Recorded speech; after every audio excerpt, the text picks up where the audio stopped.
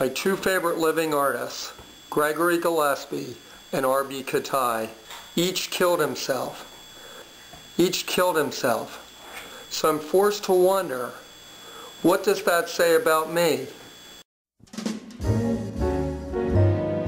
Pick yourself up. Take a deep breath. Dust yourself off and start all over again. Nothing's impossible, I have found, for when my chin is on the ground, I pick myself up, dust myself off, and start all over again. Did Gregory Gillespie and R.B. Kitaj really kill themselves? Well, looking into it, I found that in both cases, possible suicide was mentioned in the press reports. I personally am fairly confident that that's what happened. Don't lose your confidence if you slip. Be grateful for a pleasant trip and pick yourself up, dust yourself off, and start all over again. Work like a soul inspired till the battle of the day is won. You may be sick and tired but you'll be a man, my son. Or will you remember the famous men who had to fall to rise again? So take a deep breath, pick yourself up, dust yourself off, and start all over again. As much as I admire these two artists, I don't want to end up the way they did.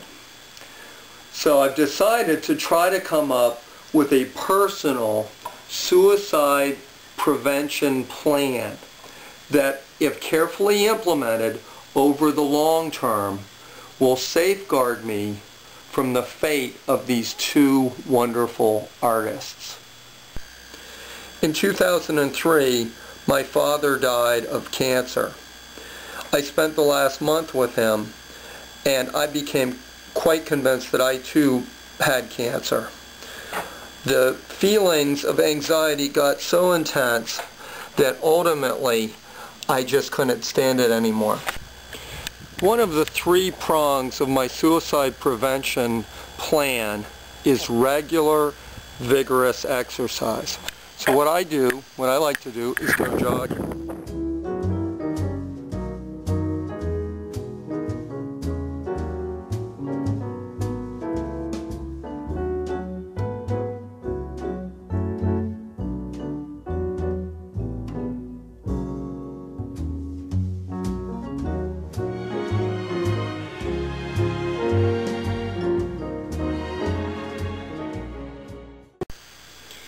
In my own personal suicide prevention plan, I've been starting every morning since uh, my father died in 2003 with one of these.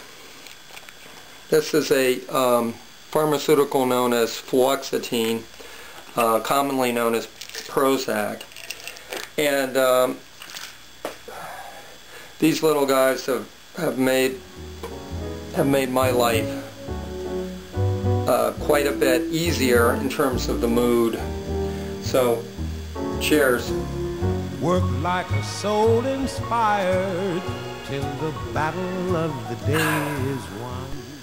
The final prong in my three-pronged suicide prevention plan may seem unlikely for many artists, but that, that final prong is obscurity.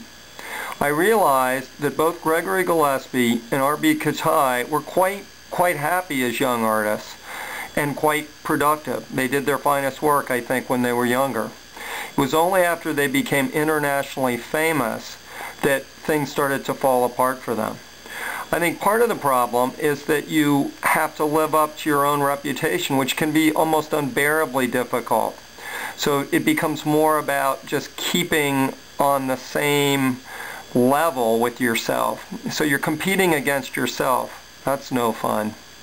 So in any event, I so far in my art career, I have been remarkably lucky in terms of this this obscurity issue. I am very obscure, and as long as things stay that way, I think I'm going to be fine. You may be sick and tired, but you'll be a man, my son. I try to keep uh, account of my uh, relative obscurity so I'm logged on to my YouTube page and we'll just check this out. Let's see, um, um, one of my masterpieces, Good Artist versus Good Art Teacher. Okay, that looks good. 18 views. Check. Still obscure. Uh, let's see, they're mostly pretty low. Uh-oh. Color Theory Part 1, 84 views. That's getting a little iffy. Uh, well, fortunately, I think about 63 or so of those views were myself, so maybe it's it's really not too bad.